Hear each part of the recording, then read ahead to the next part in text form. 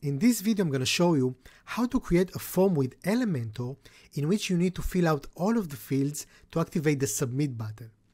There are five fields on this form and I filled out four of them. And at the moment the submit button is disabled. It's not clickable. But once I check the acceptance box, which is the last field on this form, I activate the button and I can click it and submit the form.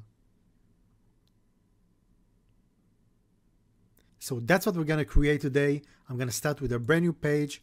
I'm going to add a new container. I'm going to make it direction row.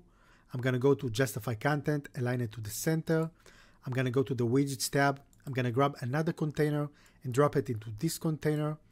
I'm going to set the column width to full width and to width. I'm going to make sure that it's set to percentage and I'm going to give it 40%.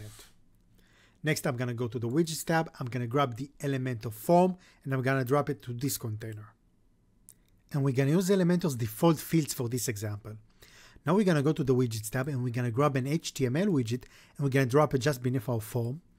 Next, we're going to go get the code from our famous code page and where it says fill out fields to activate button, you're going to see that we have two versions. The faded one that you saw in the beginning, this one over here, and a gray one that we're going to use right now. So I'm going to click to copy we're going to go back and we're going to paste the code.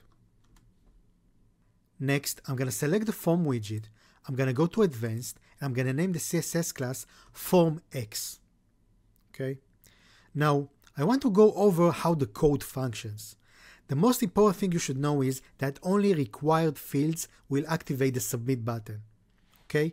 So for example, if we're going to go to content, name, and we're going to turn on the required toggle. Then I'm going to update and preview. You're going to see that filling out only the name field will activate the submit button. And that's because he's the only one we've set as required. So if we're going to go back and set the email to required as well, update and preview, you're to see that now I have to complete both fields in order to activate the submit button. Okay, so I think you get the idea of how it works.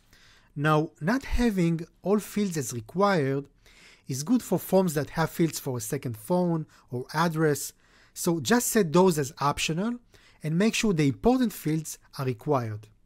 Now, if we're to go back to our form, and I want to show you that you can add as many fields as you want. You don't need to give them IDs and it's going to work. The code is very flexible. You can even remain with only one field, let's say the email, and make it a single line form. We're going to go to column width, set it to 75. We're going to turn off the label. We're going to go to buttons, column width, 25. We're to go to the widgets tab. We're going to grab a heading widget. We're going to drop it above our form. We're going to change the text to join our newsletter, we're going to update and preview. And as you can see, the button is disabled. And when I start typing, it becomes active and I can click and send it. So that's it for this one. You're going to find a link in the description to the page with the code.